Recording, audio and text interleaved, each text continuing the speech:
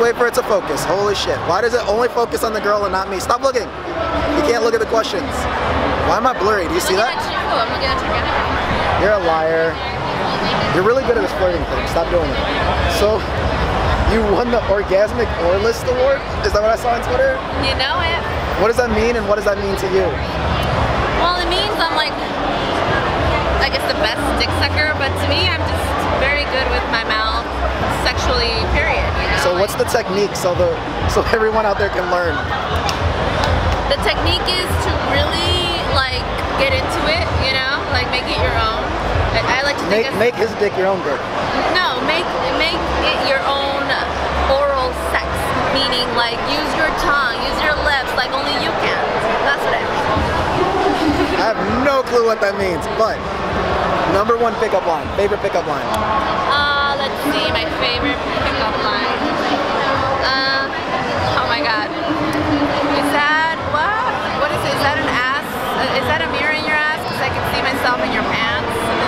That's so old, so lame. Classic, I know. So does it bother you that your brother's friends or your dad's friends jerk off to your porn and then hang out with them? I don't even think about that shit, you know? But it is an awkward moment when you know, like, you're like kind of like the elephant in the room. Yeah. You know? But what are you gonna do? Like, So what do you do when you go on dates and you're like, I know this guy's seen my stuff.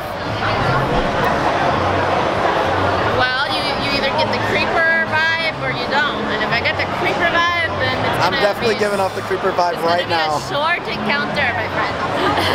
All right, so single boyfriend in between, where do you stand? huh? Where do you stand? Single boyfriend in between? Where do I stand? Yeah, you have one, don't, no, single, Um, just I, fucking I, around. I have a fucking around buddy. How about that? She has a fucking around buddy. Is it? Are you open for more applications? Of, she's. Maybe. I don't know what's going on here, guys. Stop this. You have a fucking around friend. This is getting dirty. You're the only person who's here that's fully clothed and like I nothing love it shown. because I ain't fucking cold right now. All right. my bareness fucking outfit. Oh, it's um. That's a. Your booty is brighter than bigger than my future, and you and I have a pretty big future, and I just fucked it up big time.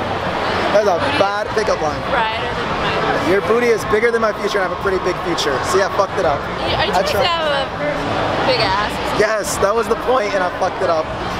Guys, this is. My voice cracked. I'm turning into like a 12 year old virgin again. Do you see I'm sweating? Do you see this? My forehead is shiny. All right, I bring that out of people, man? she just makes me nervous, guys. All right, so we're gonna play rapid fire real quick. Just answer as fast as you can. You can't look at the question, stop it. Okay, so boobs, real or fake? Real. All right, Uber or Lyft?